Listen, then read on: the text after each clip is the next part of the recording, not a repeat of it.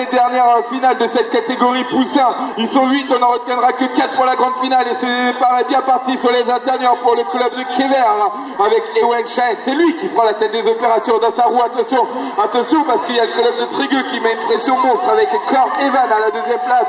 Attention également au pilote numéro 60, Adre Maxon du club de Ruiz à la deuxième position actuellement. La qualif là-bas est en train de se disputer entre Trigueux et Blavet revient à la tête des opérations. Toujours le pilote du club de Kever, Ewen Ken. La deuxième place, elle est occupée donc par le club du VS Ruiz.